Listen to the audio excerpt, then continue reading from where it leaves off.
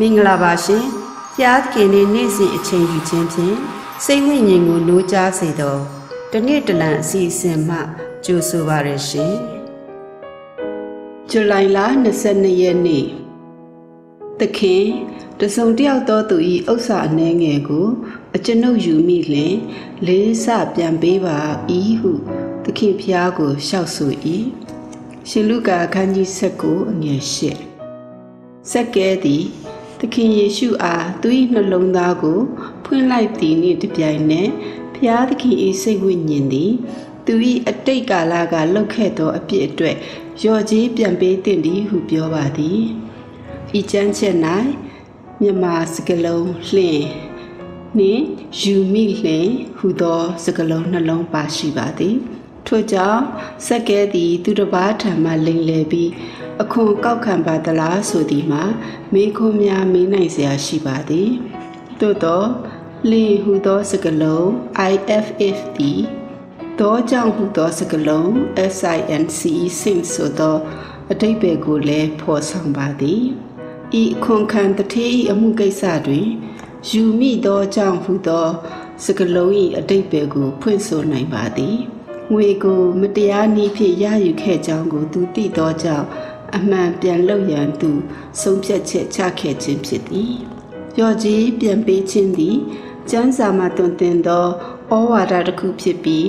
လက်တွေ့လှုပ်ဆောင်ရမည့်အရာဖြစ်သည်။ကျွန်ုပ်တို့ပြောင်းလဲလာသောအခါတစ်ချိန်တုန်းက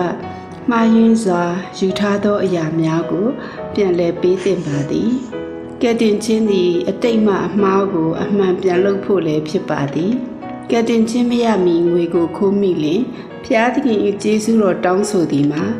ငွေကို ပြန်ပေးရန်ဖြစ်သည် မပြောင်းလဲခင်ကတရားဥပဒေနှင့်အညီတင်ခဲ့သောအကျွေးများကိုအသစ်မွေးဖွားခြင်းက မချေပစ်ပါလွန်ခဲ့သောနှစ်များစွာက Belfast မြို့တွင် WB Nicholson ၏တရားဟောချက်ကြောင့် လူရာချီနှင့်ပြောင်းလဲလာသောအခါ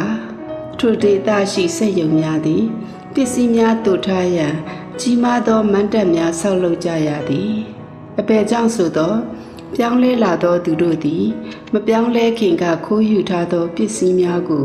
ပြန်လည်ပေးအပ်ကြသောကြောင့်ဖြစ်ပါသည်အမေရိကန်နိုင်ငံတွင်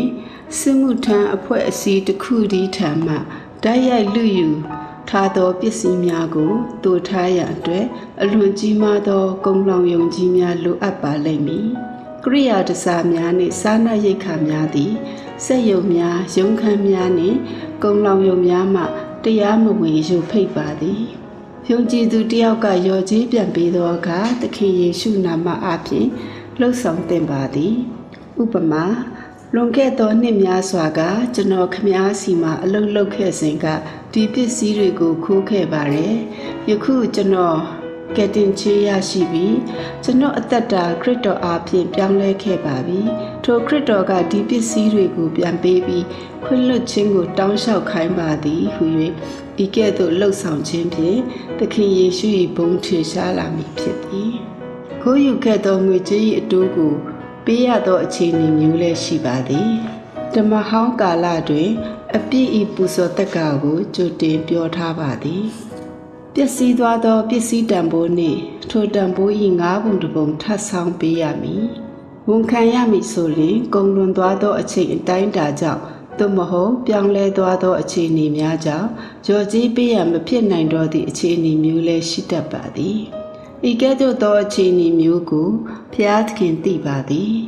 အပြစ်ကိုဝန်ချတောင်းပန်ပြီးရိုးသားစွာဝန်ခံခြင်းကိုဖျားသခင်လက်ခံပါသည်ထိုအခြေအနေမျိုးတွင်ရော်ကြီးပြရခြင်းမျိုးမရှိနိုင်ပါဤအစီအစဉ်သည်နေ့စဉ်တင်ဆက်သောအစီအစဉ်ဖြစ်သောကြောင့်စောင့်မျှော်၍ဝိညာဉ်ခွန်အားယူပါရန်မေတ္တာဖြင့်နှိုးဆော်အပ်ပါသည်